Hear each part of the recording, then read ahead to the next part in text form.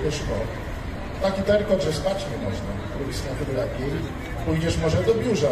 Zbyszko, e, do Julia Siewiczowej. Jak się masz stara? Julia Siewiczowa, jak się masz po Krako? Górska, y, mógłbyś też zostawić cho- choćby lokatorki w spokoju. Usuń się.